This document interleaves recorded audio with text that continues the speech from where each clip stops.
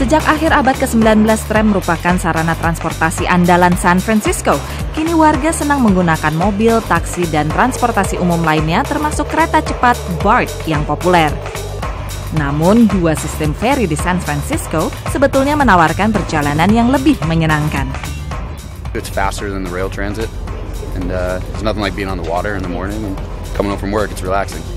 Menumpang ferry juga lebih nyaman dibandingkan tersangkut macet di darat. There's something about getting out of the bubble of being in a car and out into an open environment that's just so much more social and interactive.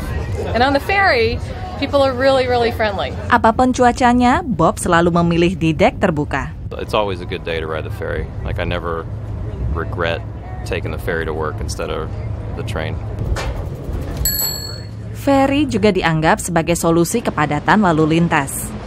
Some of our boats can carry, for example, up to 388 passengers, and so that's uh, one large carpool uh, that we take advantage of the natural uh, road, which is the bay, and uh, address the problem that way.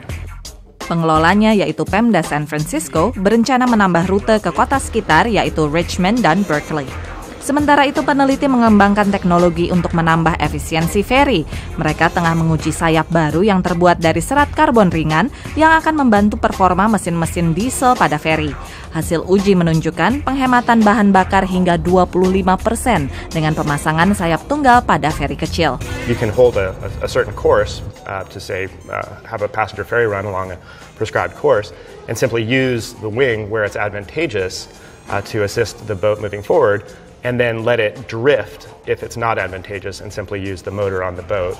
Walaupun ferry hibrida baru akan siap beberapa tahun lagi, ribuan penumpang tetap setia menumpang ferry sebagai transportasi umum yang efisien dan menyenangkan. Dari San Francisco, California, tim VOA.